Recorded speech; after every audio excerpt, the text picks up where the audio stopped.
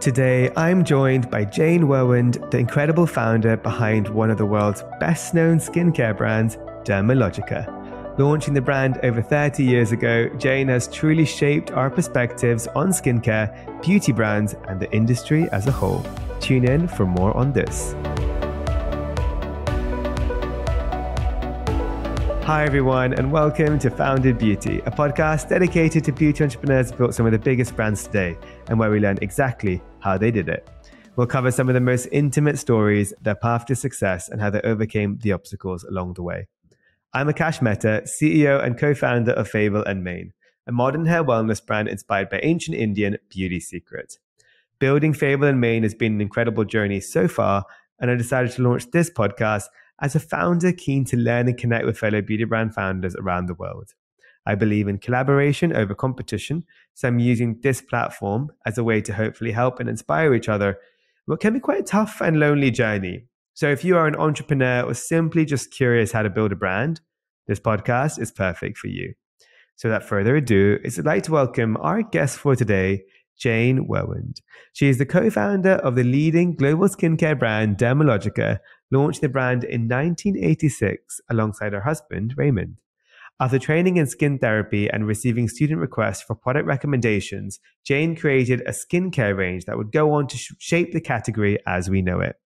Dermalogica was one of the industry's first cosmetic and pharmaceutical hybrids, formulating without irritants for skincare solutions. And today, Jane is one of the most respected authorities in professional skin therapy and is highly esteemed for her work with FITE, an initiative she launched to help young women set up their own businesses.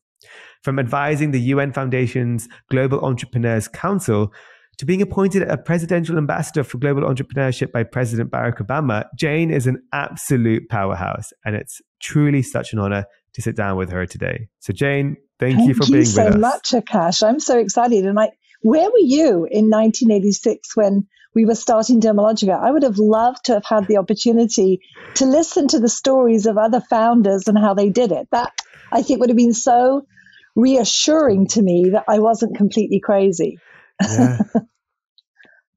and and not alone as well, right? Because I can I can imagine, uh, especially back then, being the at the forefront of something yeah. so pioneering when there wasn't many brands out there, let alone in skin, but yeah. especially in your space. Um, there are moments where you're like, like, am I? Is it? Is this possible? Yeah. Like, should I be doing this?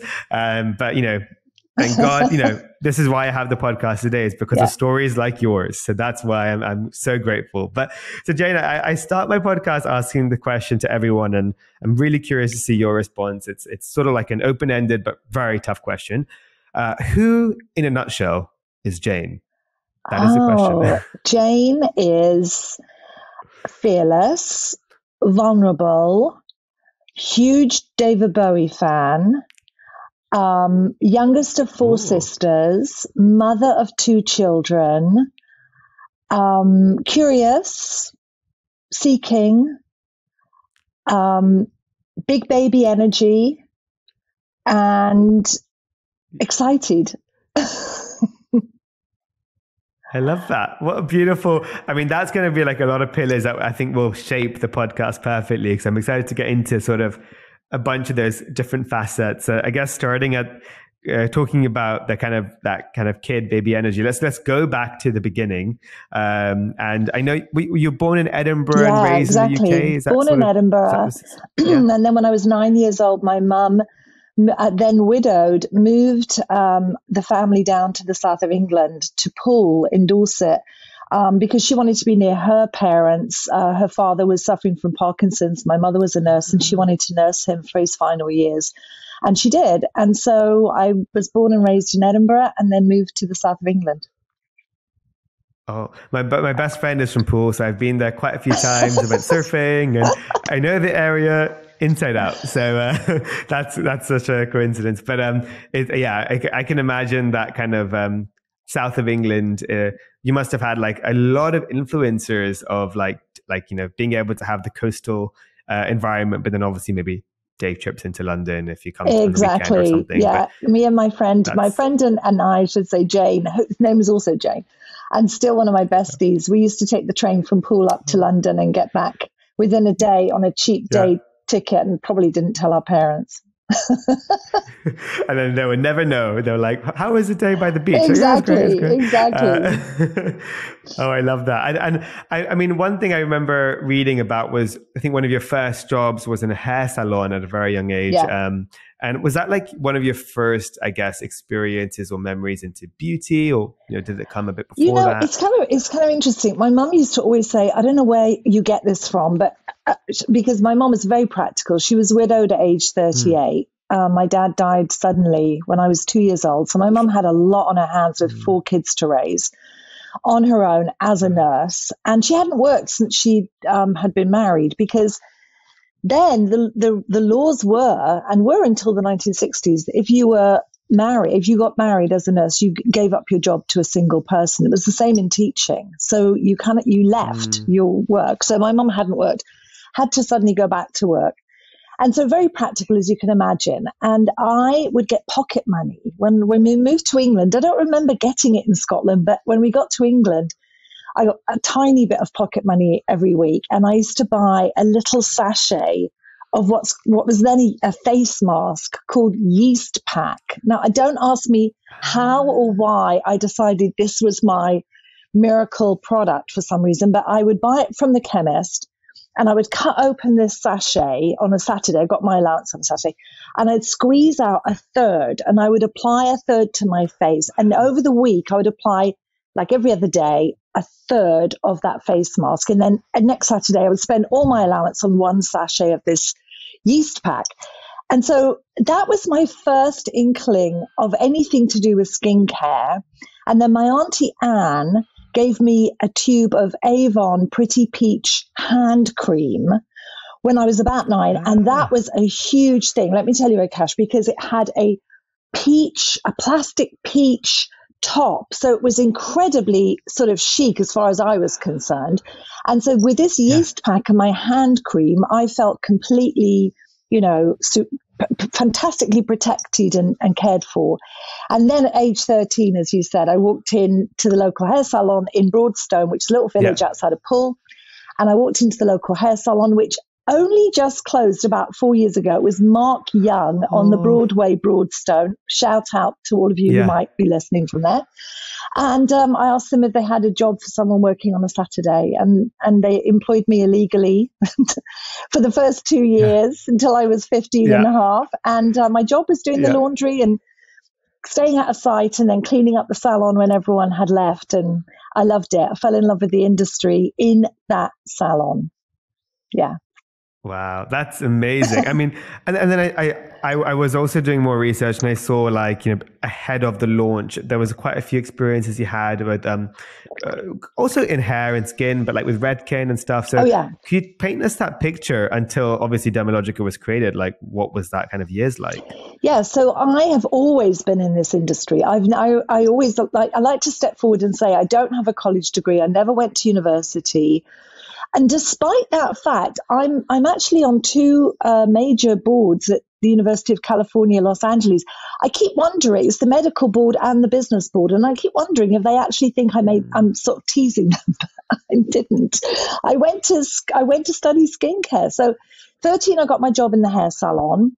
When I was 16, uh, I was 15 and a half. I was promoted to shampoo girl. That was my official title and I could be seen by clients because I was now legally old enough to work a full day.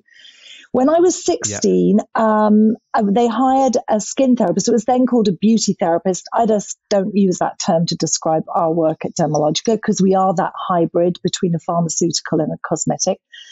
And um, when she joined and I saw what she did, I thought, okay, I thought I wanted to be a hairdresser. I definitely want to be what this person does. So when I left high school, I went straight to study skincare at the Royal Bath Hotel, had a, a training center um, in Bournemouth. And I did my training, and then my apprenticeship was in the salon where I was working. And my first job after I qualified was working as a makeup artist because I'd done makeup, nails, massage, skin, you did the whole thing. And I worked for Mary Quant for two years, and I was a makeup artist on her promotional team, which let me tell you was pretty cool. The coolest thing was, other than I was working for Mary Quant, was the uniform, which was unbelievably fabulous. And if, I'm so sorry I didn't keep one piece of it. Yeah. Anyway, after yeah. Mary Quant, um, I emigrated. It was the 70s. I, I wanted to leave the UK. I wanted to travel. I'm curious. I'm a seeker. My mum said, go. I traveled. I emigrated. There were three countries that you kind of emigrated to from Britain at that time. It was Canada, South Africa, and Australia, because they all offered mm. assisted passage, which was basically £40. And as long as you stayed for two years, they paid your ticket, the government. So Canada was too cold. Australia seemed too far. Geography was not my strong suit in school, by the way. So I thought it was a January, and I thought, oh, well, I'm going to go to South Africa because it's summer there and it will be hot, which it was. Yeah. And off I went. And yeah. when I got to South Africa, I worked in salons to begin with. I did my teaching credential while I was living there that first year. And then I got a job with Redken, who were launching their skincare line in South Africa. And I had the privilege of helping them launch it. And so that became my link to the States because Redken was then privately owned by Paula Kent Meehan and Jerry Redding. And um, they were based in Los Angeles. So I became a trainer for them and I got a trip to LA to come out for some advanced training work. And of course, once I came to Los Angeles, it was uh, sort of all over. Loved it. that's amazing. Oh, that's so exciting. So, I mean, then I think that's a perfect segue, I guess, into sort of from arriving in LA. Mm-hmm. Uh, I, I, think that then there was this whole I guess, Dermalogica story that was born. Uh, I think starting with the Dermal Institute and yeah. then, yeah, the actual brand. Yeah. So take it away. The floor is yours because it's such a beautiful story. So when I came to Los Angeles, um, I was dating Raymond then. we we've now been married for over 30 years, but we were dating. He was in Los Angeles. I knew him from South Africa. In fact, he'd run the division for Redken in South Africa. And he had also made the decision he was going to emigrate, but we emigrated separately and we ended up in, in Los Angeles together. And because we dated before, you know, we kind of picked it all up again. And, uh, I decided, well, I'm going to get a job because the cool thing when you have a skill set of any nature, I don't, you know, I'm a skin therapist, but you could be a hairdresser, you could be a patisserie, you could be a butcher, a plumber, an electrician. You can always work. You will always be able to get work because you literally are traveling with this skill set in your head mm. and in, and hopefully in your heart and in your hands. So I thought, okay, well, I'm going to come to LA and I'll get a job in a salon. And I mean, my imagination was there must be tons of salons in LA because there were tons in London that do skincare. But when I got here, that was not true. And in fact, if I'd done even the tiniest bit of research, I would have learned before I came here that only seven out of the 50 states in the USA even had a qualification to be any kind of skincare therapist or esthetician or cosmetician or different names it was given at that time. And so I realized it was not as entrenched an industry as I had imagined. Hair was huge and everywhere, but skincare was not. Nails were just bubbling up, but not as huge as they are now. Mm. So what I realized as I went on interviews, and all the salons were in Beverly Hills, and all the salons were owned by European older women. Ida Gray, mm. Aida Thibiant, Georgette Klinger, Christine Valmy, those were the names, and they named the salons after themselves. So I went for an interview, and because I did have a good training and I had got my teaching credential and, and you know, and I was 25 years old and, and looked, you know, yeah. like I was in the industry then, they offered me a job. And when I said to them, how, why is it you're, you're only employing European trained skin therapists? Because I've sort of seen people, but you've got American women and people answering the phones. And it was Aida Thibiant mm. who said to me, well, It's really easy, Jane. Europeans don't know how to sell, and the Americans don't know how to give a skincare treatment. And it was such a flip comment, yeah. but I thought yeah. to myself, what does that what does that mean? What's the training like? I had no awareness of this. And what I found out was the training in California, where there was such a qualification, was only 600 hours, four months. Whereas the training in the rest of the world and in the UK, which is still very strong, was sort of two years with a one year apprenticeship. And now wow. in Australia, in Australia and South Africa, for example, it can be a four year training, and that last year is a university piece, which gives you a degree uh, in this industry. So the whole industry has changed completely.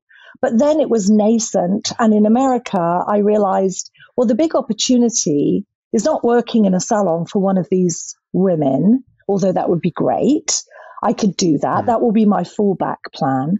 But the opportunity must be to open some kind of training center to train the people who do have this 600 hour license to be more efficient and more effective and build a better clientele and have a career that literally helps them pay the rent. Because with that level of training, 600 hours just wasn't enough to be successful. And so that's what I did. And I, I rented a thousand square feet office next to the social security office in Marina Del Rey where I was living in a one bedroom apartment. And it was the cheapest rent because I guess no one wanted to be next to the social security office. It was fine for me. And we opened up this small training center and I, it sounds so ridiculous because it sounds so sort of amateurish, but this is sort of what you do. You figure it out as you're going along. You don't know what to do, 100%. so you just kind of figure it out. Nah. So I thought, well, I've got to write to people and tell them I'm doing this training. How am I going to find out who does have a license? So I knew because I'd done my qualification in California by then, there was a state board which issued the license. So I called them up in Sacramento, spoke to a lovely woman on the phone, and I said, Do you perhaps have a list of everyone with their addresses who's qualified to do skincare, you know, the 600 hours? And she said, mm. Yes. And I said, Wow. And can I ask you a question? Would, do you sell that list or can I get that list? And she said, I don't know. I've never been asked that. Can I call you back tomorrow? And I said, yes. Now, this is before the internet, remember. You can't Google anything. There was yeah. no Google anything. So she, she called me back the next day. I've still got the letter she then followed up with. Her name was Delphine Cathcart. I mean, this is crazy that I remember this nonsense. but anyway, she called me back that. and she said, I found out, yes, we can sell you the list. I said, How much is it? She said, $25. And I said, Oh, I'll definitely have that then. Thank you, Delphine. Yeah. And she said, Would you like me to send it pre printed on white Avery labels? So I could just stick it on a postcard. So I said, Yes, that would be great. So the list arrived.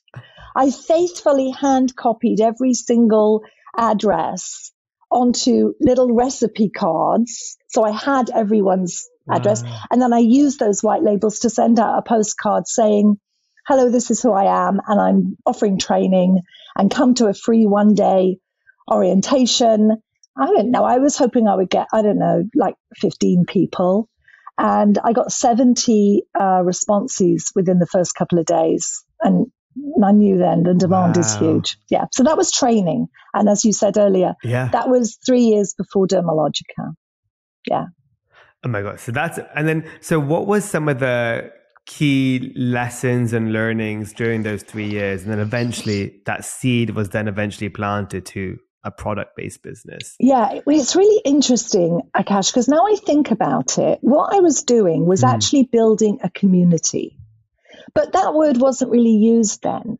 But when now, now when I look at social media, for example, it's exactly what's happening. You build a following, you build a yeah. community, and people follow you. So the, the, the message is exactly the same, but the plumbing is different. The plumbing then was really laborious because you had to find people and literally word of mouth meant you had to find somebody and actually speak to them. But in doing yeah. that, you were making a very strong human connection and, and actually mm. much stronger than I would say social media because you really did know that person. So so what happened mm. was I would bring people into the school and we would I would teach them. And okay so ostensibly I am upskilling them. I'm teaching them oh honestly the training was so weak. I would say okay so let's talk about you know Alipoid dehydrated skin which is a skin lacking oil right? Not a skin lacking water which would be dehydrated mm. and Alipoid is lacking oil. And my students would just stare at me I could say, yeah. well, there's dry, normal, sensitive, oily, and combination skin, right? And I'd say, uh, well, that's those are consumer terms that we don't use those yeah. terms. So I said, okay, all right, stop, stop everything. Before we talk about alipoid skin, let's talk about skin histology. Let's understand exactly how the skin works so we can all have a basis. So it became this conversation of education. And I'm mm. very enthusiastic. So, you know, I would say, now you're all going to work on each other. I'm going to help you. No panicking allowed. I made everyone take down their nails. Most people were wearing acrylics. I said, it's got to come off. They said, no, I can't take them off. And I said, you've got to remove them because you're going to be learning techniques where you're going to be touching the face with your hands. Yeah. And some of the movements require you to move your hands. And therefore, if you've got long fingernails, you're going to scratch the client's skin. It's not acceptable and yeah. it's not hygienic. So, in all of this, we were teaching higher standards, better sanitation, pride of ownership of your work. And the students were connecting and bonding with each other. They were not alone. They were not just working in a room at the back of a hair salon somewhere. They had a place, they had a tribe. As they said to me, we are like a family. I said, You're my family here in the States. And they answered me, No, we're like a tribe. And I said, Great. And they had a, a uh-huh. chorus when uh, we launched Dermalogica. They would say, they, We bleed grey. Our packaging was always grey and white. And it was just unbelievably mm. solid support. And many of them had their whole careers with us. I've now lived long enough yeah. to see them retire. And we have incredible memories.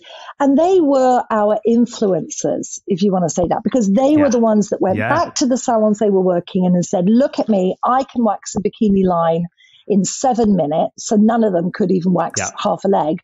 And so they became influencers. Many of them became teachers. Many of them became our teachers. And so ah. What was happening over those three years, Akash, was rather like building a super powerful, strong social media presence. And then yeah. we introduced Dermalogica based on all the things I'd learned in those three years. They wanted formulas that we would now say were clean. They wanted no lanolin, they, no fragrance, no mineral oil, no artificial color. Why do you need artificial color and artificial fragrance in a product? It's ridiculous. Yeah. Why do you care if your moisturizer is pink, blue, or yellow? Don't you just want whatever color it is? Yes. So that was all new. That was all different. We had no jars because mm. jars are disgusting. You put your fingers in them and it's completely contaminated very quickly, unless you're using high levels of preservatives, which we were not. Yeah. So we had no. tubes and we had uh, pumps, and we, it was all very original. We didn't have a toner that you went on with cotton wool. We had a spray toner. Multi-active toner was the first spray-on toner, and we everything was sort of you know couldn't be touched because it was all very quasi pharmaceutical. So the name derma, skin, yeah. Latin for skin, and using Latin because it was the word of phar- the language of pharmaceuticals and medicine. Derma, logica. Logica means logical, sensible, makes sense. Yeah. Dermalogica. And I, d- I just hope I, I wrote a book over COVID called Skin in the Game, which is this story mm. and the story of Dermalogica. And in it, I talk about this first trade show we did in January of 1986.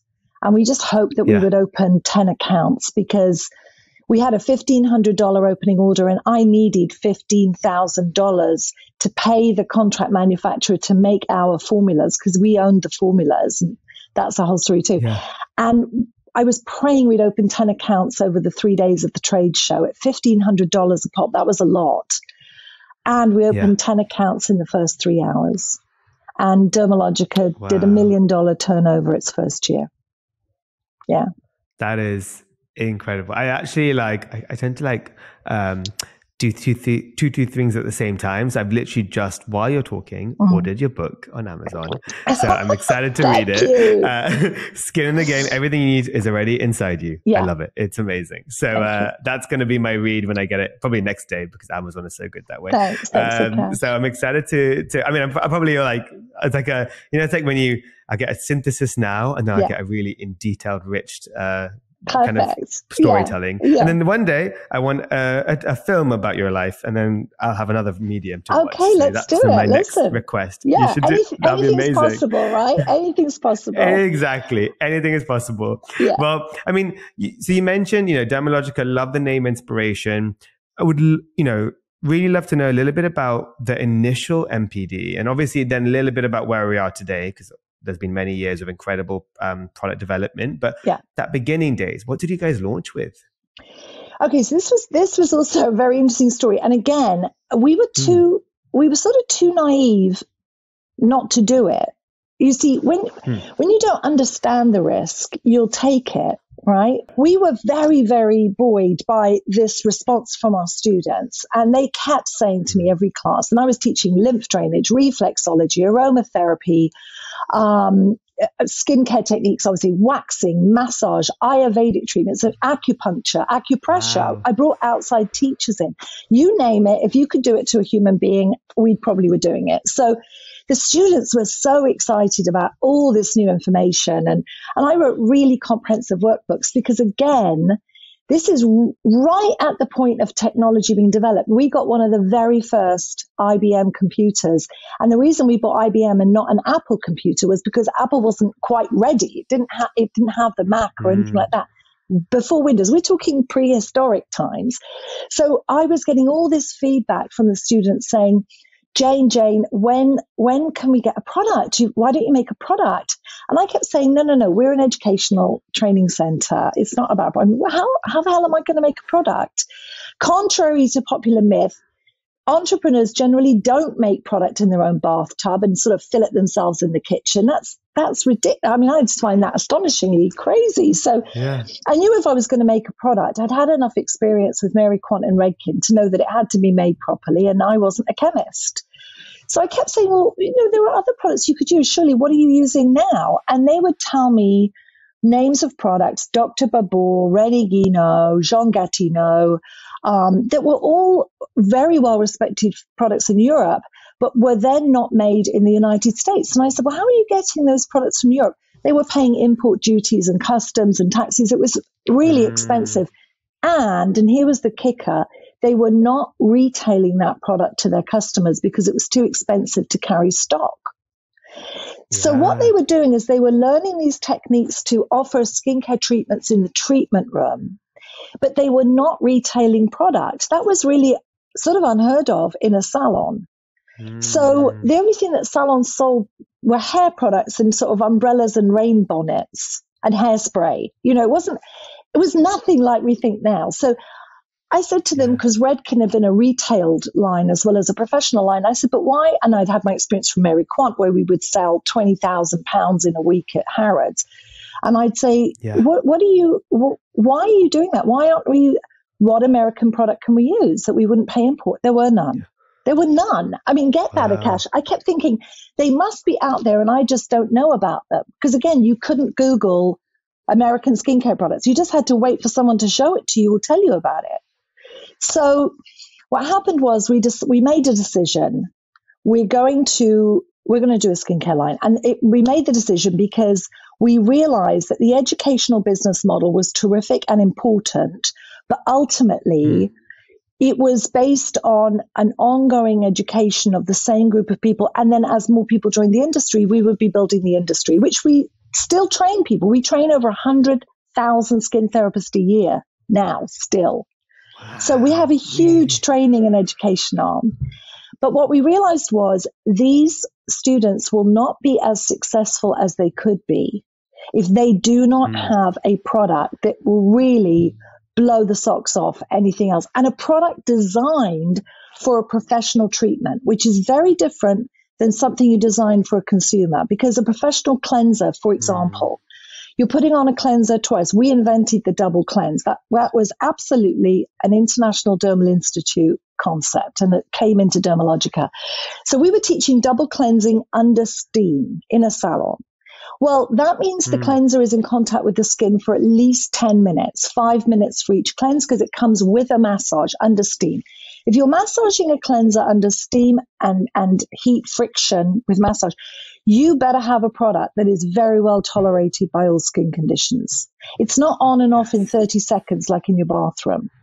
So we were developing products for use in the professional treatment, which were going to get real mm. results because otherwise that client wouldn't come back and have another treatment. We were teaching extraction nope. techniques. We were teaching how to apply a mask with the brush. We're not going to put it on with our fingertips like I did with my little yeast pack when I was nine years old. So we were teaching all these professional techniques and we wanted those skin therapists to go out and share them with clients. So when, when we got fired up with this idea of let's, let's create a product because that's actually what our business model will be, we hmm. realized that if these skin therapists are unleashed and can sell product to the clients that's professional for them to recommend, then they will increase their their profit profitability in their businesses by at least 50%. 50% of their revenue will come from product sales. That inspired me because I knew what these our skin therapists were earning and making. And I knew that many of them could never afford to own their own salon. They were working in the back of a hair salon because they weren't profitable enough. Mm. So now I'm completely lit up about we're going to make a product that makes them more successful. And it's going to be the best darn product I can come up with. I sat and I briefed out, I wrote out this dreamscape of products. I want a foaming cleanser that removes all eye makeup and does not sting the eyes. That was special cleansing gel. Still one of our top five products. I want a spray on toner because I don't want the waste of cotton balls in a trash can full of product and going into the waste when we could just be spraying the toner on and saving the cotton wool, saving saving the, the energy and also preserving the product. So I wrote out a dreamscape which no one had and I want no mineral oil, no lanolin, blah, blah, blah. And I took this dreamscape kind of, I think of it like the script of Dermalogica, like a film script. And I pitched it to chemists. Could you make this for us? And how did I find chemists? I went to the library and I pulled out one of the reference books of the Society of Cosmetic Chemists. And I found every chemist in Southern California that had a phone number, no email, remember, a phone number, no cell phones, remember, uh, or an address. And I either wrote or called 70 of them within what I found out was the zip code sitting in that library, the zip code that we could, you know, at least work together. And I was in LA, so it was a lot. And I called, contacted each and every one of them, gave them the brief, not as detailed as I had it, because I didn't want them to pitch my idea.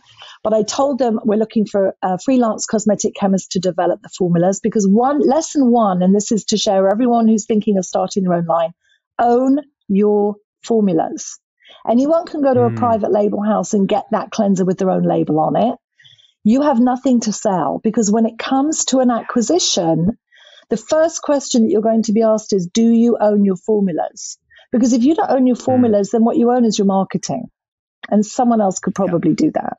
So, lesson That's number one, we wanted important. to own our formulas. So, we out of the 70, most of them wouldn't even respond. Some of them responded and said the no mineral, oil, no lanolin, no, that, that was impossible. They couldn't, you couldn't do it. You had to preserve it with something. And if you weren't using formaldehyde as a preservative, which we did not, you were going to have to use mineral oil, which is inert and stable. I wanted to use vegetable oils, which they said would easily contaminate and you couldn't preserve them without using. So it was this circle of being told that can't be done. And I just wouldn't mm. give up until all 70 had told me it couldn't be done. And then I would go on to the next 70. I was just feral. I get obsessed with something yeah. and I dive down that rabbit hole hard. Came down to the to three people, three chemists that said they could make it. Yeah. Two of them were too expensive. They wanted ten thousand dollars a formula, which was nothing yeah. now, huge then, and we didn't have any money. I had, we had fourteen thousand dollars of self funding. That was it. Raymond came up with a brilliant um, construct, which I outline in the book, with the chemist that ultimately yeah. did develop the formulas for us, where we would pay him a percentage of uh, ingredients to manufacture the product. It's it's all laid out in the book. It's a bit complicated, but it's so clever. It's so simple and so clever. He agreed to do that. He would be paid over a two year period of the product that we made. We knew that if we weren't successful, we wouldn't be making any product and he wouldn't be getting any money. And if we were outrageously mm. successful, he would make more than 10,000 a formula. The good and bad news was, Akash, and you read this in the book, a month before we launched at that trade show, that chemist holding the formulas not released to us yet. We would get the formulas released to us after we'd paid him off after two years. He came to us the month before and said that he wanted to buy a new car, needed money, and he wanted us to buy the formulas now. And if we didn't, he was walking. We had wow. no money to buy the oh formulas. Oh we figured it out. We figured it out. We got the formulas. He left happy. That's a whole other story of how we did that. That is also in the book because it's yeah. a longer story. We didn't even have a credit card. I'm excited about that. So wow. we did manage it. The formulas were successful. We owned them. Thank goodness it was the best thing that probably ever happened to us. That chemist walked and we got to own the formulas. And we launched with 27 formulas right out the gate. $1,500 wow. opening order, 27 formulas. Nine were professional only to use in the treatment room, and the rest were retail. So now my students had retail mm. cleansers, toner, two moisturizers, three boosters, two serums, by the way, which no one was using that word in skincare. Everyone kept saying, What is a booster? What is a serum? And I kept explaining it's an accelerator wow. and a mixer. We had a botanical mixer. We had 27, and I list the OG, I call them the OGs, the OG Dermalogica products in, in the book because they're my children.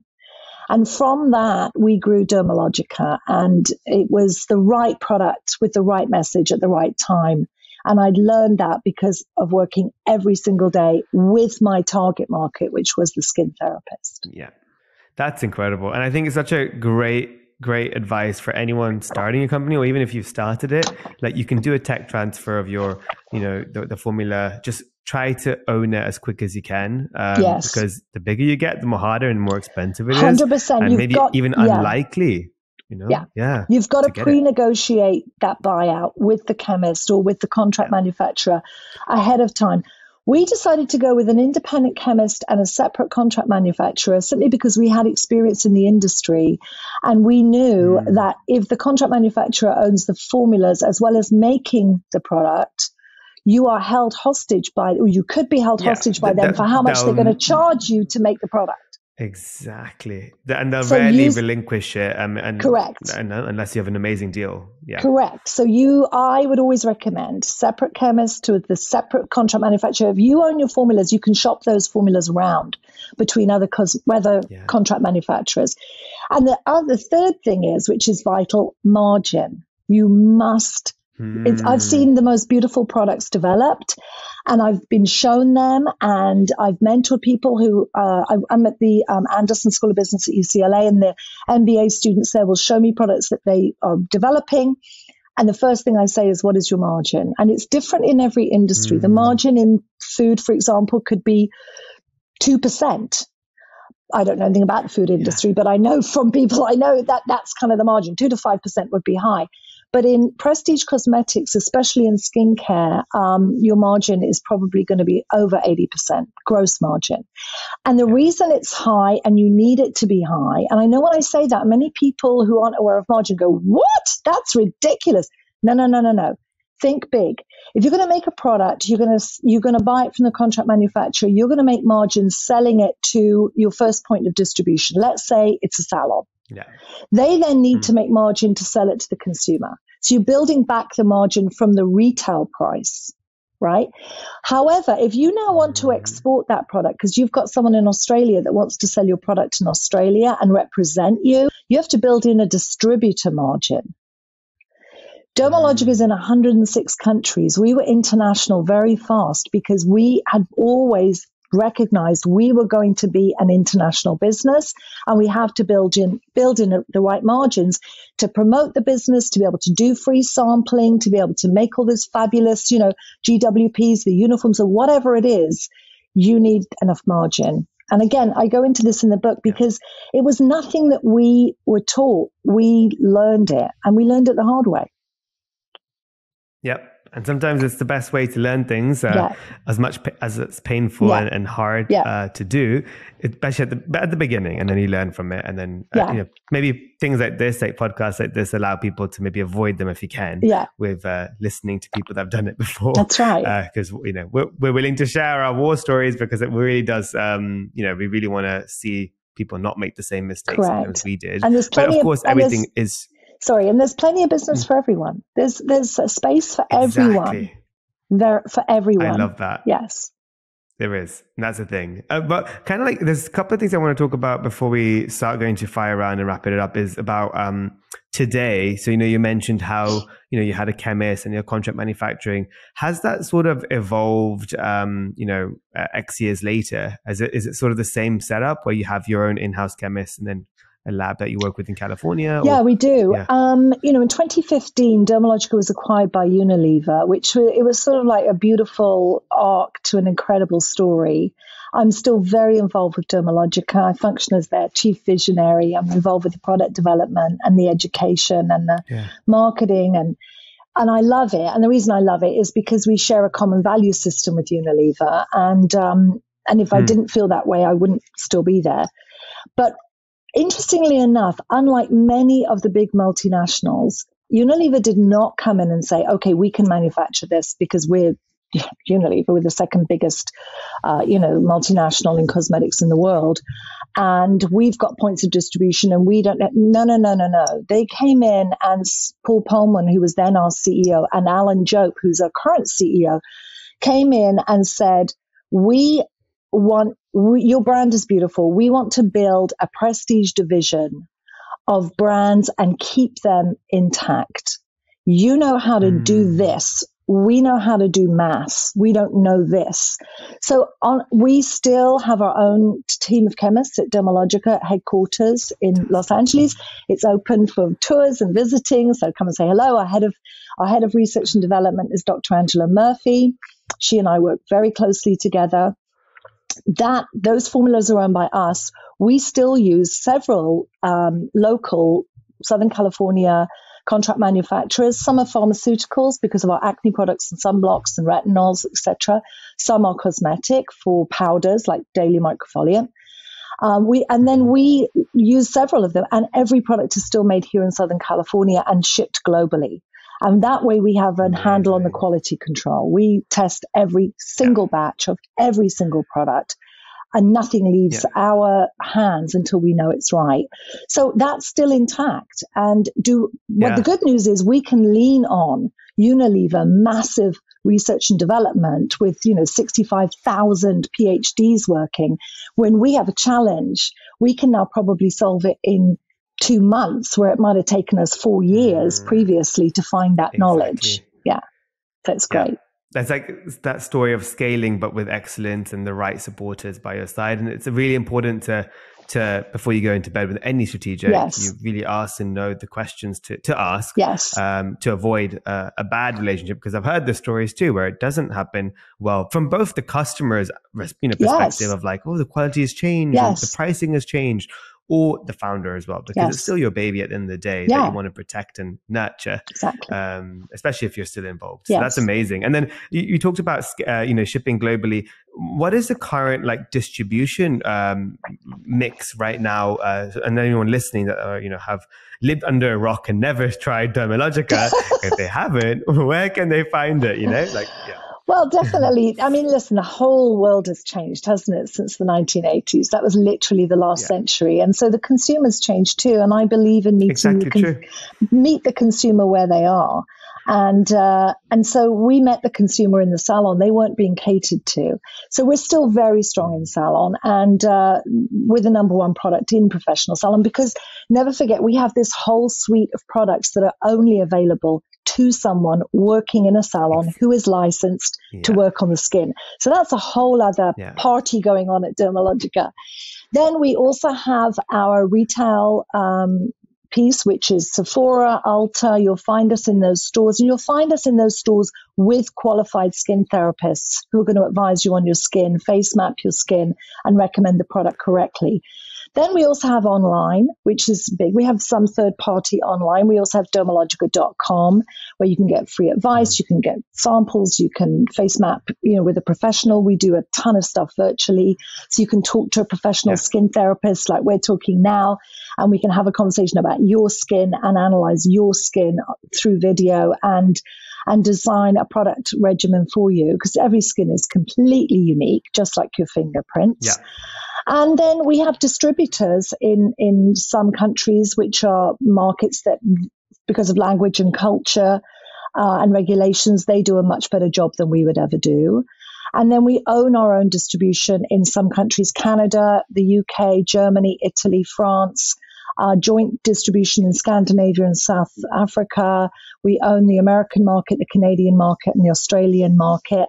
And we work with really great distributors in the other 106 countries. So it's very much um, a, a, kind of a quilt, uh, or what we call it, mm. a string of pearls, uh, each one standing separately on the string uh, but each one equally beautiful and important. That's uh, so beautifully said, uh, and it's it's really great to see um, that kind of love and heart gone through that kind of global expansion. Yeah. Um, especially as a as a young brand who's on that journey now, it's like sort of like I want to protect that as I scale. Um, and, and, do it with excellence. Yeah, and when you too fast, when you're you know? looking, yeah. yes, don't go too fast. And one one piece of advice I would say, Akash, to anyone looking internationally, after you've hmm. talked, we've talked margin and we've talked you're owning your formulas and controlling your manufacturing. But the other thing is, I never will do any kind of business with someone I don't want to have dinner with. Hmm. So exactly, you can find that. yourself opposite people who will offer you, you know, a big check and get your product, and you would never want to have dinner with them. It's the wrong decision because yeah. it's coming down to a value system not just value, mm. but a values system so that it, do they have the same value system as you do? Because if they don't, whether it's around honesty, credibility, truthfulness, you'll never build trust. And if you don't build trust, you don't really have a profitable partnership. I love that. That's really great advice, and I'll, I'll I'm going to keep that in mind as well as I go through any stakeholder in the Please. next journey ahead. Just yeah. you know, even if it's a even you know obviously hiring someone even like an agency sure. a freelancer right like sure. if you, yeah, it's any person you got to feel yeah. that they're part of this tribe that you're building goes back exactly. to that word i love it um, so in terms of uh, future of dermalogica yeah. um, i think you know a big big part i can imagine would be navigating this whole new wave of consumers mm-hmm. especially the, the younger generations mm-hmm. the generations to come and, mm-hmm. but what is sort of um, yeah on the horizon for you guys always growth. Um, you know, there's there's always new consumers, and the, we the millennials now outnumber the boomers. I'm a boomer, and my yeah. my eldest child is 29, and they always say, you know, okay, boomer, when I'll say something. Yeah. so I'll say, okay, millennial, because I have a Gen Z. Yeah. Who uh, Lucy? Who's oh, Gen Z, 24, right, and uh, and now we've got you know Gen Alpha coming up. The great news about all of that is and I see the difference even between my 29 and my 24 year old. The Gen Z and, and now next gen um, are all digital yeah. natives, which is fantastic yeah. because more comfortable yeah. probably on a, on a laptop or on a phone than they are in, in a conversation and, you know, one on one in a, in a room.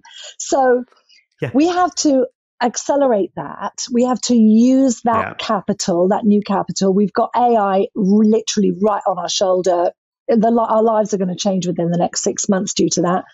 And, yeah. and we have to emphasize the need for human connection and empathy because according to our surgeon general in the US, and he's right, we have an epidemic of loneliness and disconnection, which is the equal and opposite reaction to how electronically connected we are. So we're looking at this whole piece of mm. human connection, human touch, literal eye contact, touch contact, skin contact, how important everyone who's offering anything in that arena is going to be. And that, of course, ground zero for us mm. is that skin therapist. Who else is touching us anywhere like someone who's giving our massages, our skin treatments, our hair treatments? Our industry is exploding and will continue to do so.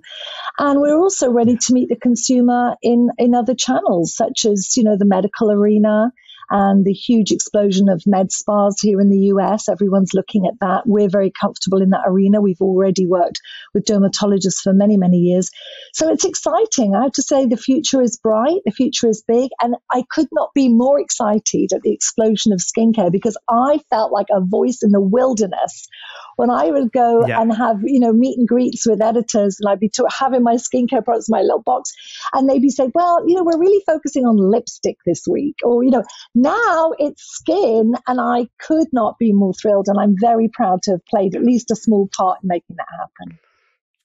A, a, big part for sure, and, and, it's just so exciting. And uh, you know, like um, we're gonna go to, to fire round questions now, but there's so much more to and you know maybe a, there'll be a part two along the the journey later on but for now at least people can read your book and i think that's i'm going to put the link in the in the bio Thank so they can you. continue to hear about and you know obviously all these incredible articles online about all your achievements and, and accolades but um, just want to say uh, that there's a whole other piece that we haven't gone into with your work that you've done and i touched upon it in, in the beginning you know with with women and united yeah, nations let's and, let's, let's but, do that for yeah. for another podcast about the importance another, of empowering skill set and women exactly and i would love to talk there's an there's some incredible work coming out of india i want to talk about too because that wow. is happening with the empowerment of women and with this the digital code that everyone has 99.9% of the population are linked on where they can deposit money, transfer money, open a bank account virtually. And that mechanism for training is going to be huge for women.